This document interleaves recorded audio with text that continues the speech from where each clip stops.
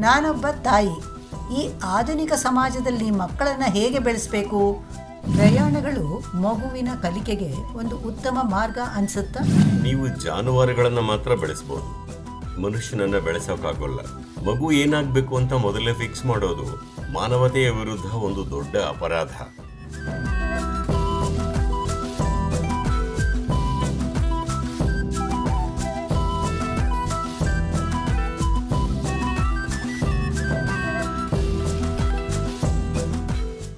ನಾನೊಬ್ಬ ತಾಯಿ.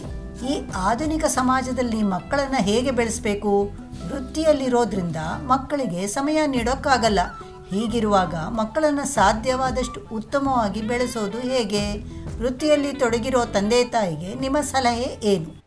ನಿಮ್ಮ ತಾಯಿ ನಿಮ್ಮನ್ನ ಉತ್ತಮವಾಗಿ ಪೋಷಿಸಿದ್ರು ಅನ್ಸತ್ತಾ? ಹೌದು ಅನ್ಸುತ್ತೆ.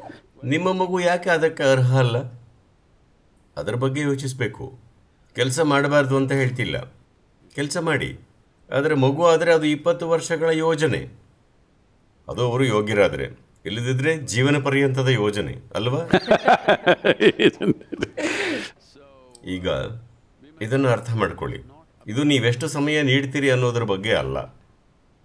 ತುಂಬ ಸಮಯ ಕೊಟ್ಟರೆ ಅವರಿಗೆ ನೀವಂದ್ರೆ ಅಲರ್ಜಿ ಆಗುತ್ತೆ. ಇದು ಅವರೊಂದಿಗೆ ನೀವು ಹೇಗಿದ್ದೀರಿ ಅಂತ. ನಾನೊಬ್ಬ ತಾಯಿ ಅಂದಾಗ ಮತ್ತು ಮಕ್ಕಳನ್ನ ಬೆಳೆಸಬೇಕು ಅಂದಾಗ ನೀವು ಜಾನುವಾರುಗಳನ್ನು ಮಾತ್ರ ಬೆಳೆಸಬಹುದು. ಮನುಷ್ಯನನ್ನ ಬೆಳೆಸೋಕ್ಕಾಗಲ್ಲ ಮನುಷ್ಯನನ್ನ ಬೆಳೆಸಿದ್ರೆ ಅವನು ಜಾನುವಾರು ಥರನೇ, ಅವನು ಅಥವಾ ಅವಳು ಜಾನುವಾರು ಥರನೇ ನೀವು ಬೆಳೆಸಬಾರ್ದು. ನೀವು ಪೋಷಿಸಿ. ಅದರಿಂದ ಏನು ಅರಳುತ್ತೆ ಅಂತ ನೋಡಿ. ಬೆಳೆಸೋದು ಅಂದ್ರೆ ಅವ್ರು ಏನಾಗಬೇಕು ಅಂತ ಮೊದಲೇ ಫಿಕ್ಸ್ ಮಾಡಿದ್ದೀರಿ.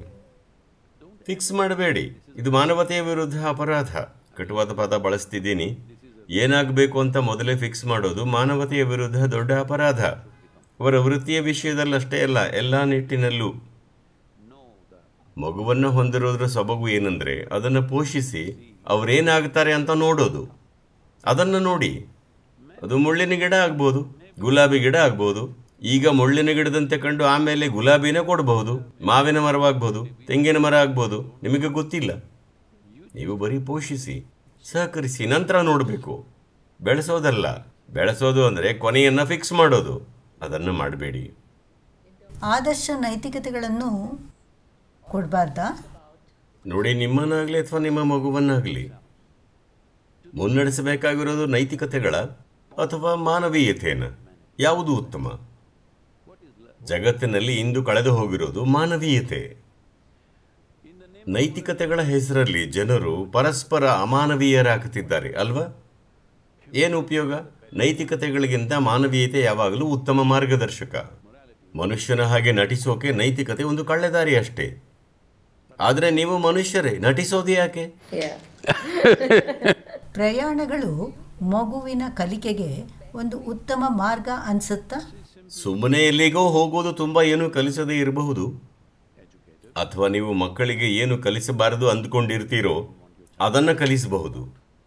ಹೊರ ಜಗತ್ತಿಗೆ ಜಾಸ್ತಿನೇ ತೆರೆದುಕೊಳ್ಳೋದ್ರಿಂದ ಅದನ್ನು ನಿಯಂತ್ರಿಸೋಕ್ಕಾಗಲ್ಲ ಯಾವಾಗಲೂ ಒಳ್ಳೆಯದು ಅನ್ನೋಕ್ಕಾಗಲ್ಲ ಇದನ್ನೆಲ್ಲ ಇಂಗ್ಲಿಷರು ಹೇಳಿದ್ದು. ನಾವು ಅದನ್ನೇ ಪುನರಾವರ್ತಿಸ್ತಾ ಹೋಗ್ತಿದ್ದೀವಿ. ಯಾಕಂದ್ರೆ ಅವರು ಸಣ್ಣ ದ್ವೀಪದಲ್ಲಿ ಸಿಕ್ಕಾಕೊಂಡಿದ್ರು. ಅವರು ಪ್ರಯಾಣಿಸದಿದ್ರೆ ಮಂದವಾದ ಬೆಳಗುಗಳನ್ನು ಬಿಟ್ಟು ಇನ್ನೇನು ನೋಡ್ತಿರಲಿಲ್ಲ. ಸರಿನಾ? ಬೆಳಕನ್ನು ನೋಡೋಕ್ಕೂ ಭಾರತಕ್ಕೆ ಬರಬೇಕಾಯ್ತು. ಹಾಗಾಗಿ ಪ್ರಯಾಣಿಸೋದು ಉತ್ತಮ ಶಿಕ್ಷಣ. ಇದನ್ನು ಇಂಗ್ಲಿಷರು ಹೇಳಿದ್ದು. ಯಾಕಂದ್ರೆ ಅವರು ಸಣ್ಣ ದ್ವೀಪದಲ್ಲಿ ಸಿಕ್ಕಾಕೊಂಡಿದ್ರು. ನೀವು ದ್ವೀಪದಲ್ಲಿದ್ದರೆ ಪ್ರಯಾಣ ಮಾಡಬೇಕು. ಆದರೆ ಬೇರೆ ಕಡೆ ಇದ್ರೆ ಮೋಜು ಮಾಡೋಕೆ ದ್ವೀಪಕ್ಕೆ ಹೋಗಬೇಕು. ಅಷ್ಟೇ ವಿಷಯ. ನಾನು ಅದನ್ನ ಒಂದು ಕಟ್ಟಳೆ ಮಾಡಲ್ಲ. ಅದು ನೀವು ಯಾವ ರೀತಿ ವ್ಯಕ್ತಿ ಅನ್ನೋದರ ಮೇಲೆ ಇರುತ್ತೆ ಕೆಲವರು ಪ್ರಯಾಣದೊಂದಿಗೆ ಬೆಳೀತಾರೆ, ಕೆಲವರು ಕುಗ್ಗೆ ಹೋಗ್ತಾರೆ. ಅದನ್ನು ಆ ರೀತಿ ನೋಡಬೇಕು. ಅದನ್ನೊಂದು ಕಟ್ಟಳೆ ಮಾಡಬಾರದು. ಆದರೆ ಅನೇಕರು ಇದರಿಂದ ಲಾಭ ಪಡೀತಾರೆ. ಕೊನೆ ಪಕ್ಷ ಸ್ವಲ್ಪ ಸಡಿಲವಾಗ್ತಾರೆ.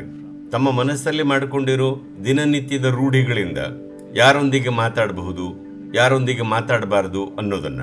ಹೊಸ ಜಾಗದಲ್ಲಿ ಹೊಸ ಜನರು ಇರ್ತಾರೆ.